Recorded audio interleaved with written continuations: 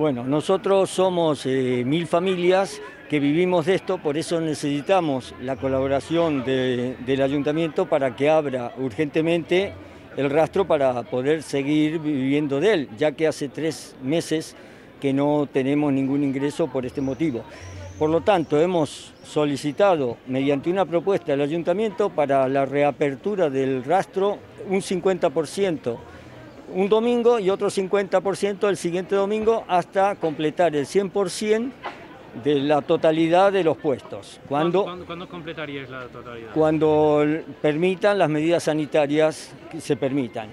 Entonces, eh, mediante esto, le hemos, eh, el ayuntamiento nos ha enviado unos, mm, nos ha hecho una respuesta eh, enviando unos planos que son totalmente ilegibles. O sea, al ayuntamiento necesitamos que nos envíen unos planos a escala con las medidas de los puestos ocupados y vacantes, por lo cual eh, sin dar datos personales. Y un apoyo de un técnico para hacerlo sobre el terreno.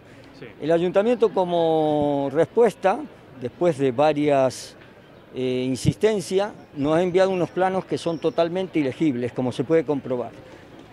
Eh, lo que no entendemos es que el concejal, en, en un pleno de la semana pasada, ha dicho públicamente que si nosotros como asociaciones no colaboramos para la reapertura, ellos lo van a hacer con sus criterios.